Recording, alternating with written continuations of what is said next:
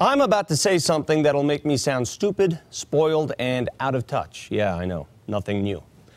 NFL players are underpaid.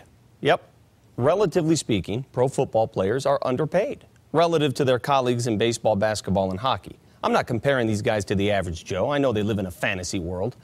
But consider this the average salary of an NFL player is less than that of an NBA, NHL, or Major League player. The NFL also has the lowest minimum salary of the Big Four.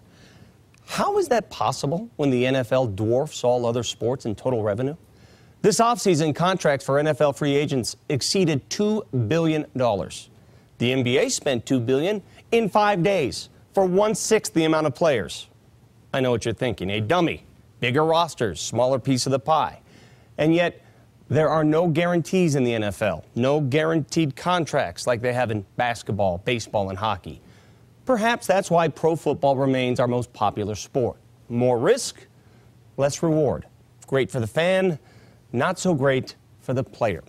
And if the players' union oh, that yeah. really messed up, because if their union demanded a little more, players would make a little yeah, more. Doesn't seem fair. So much at stake. Now back to real life. we'll be right back.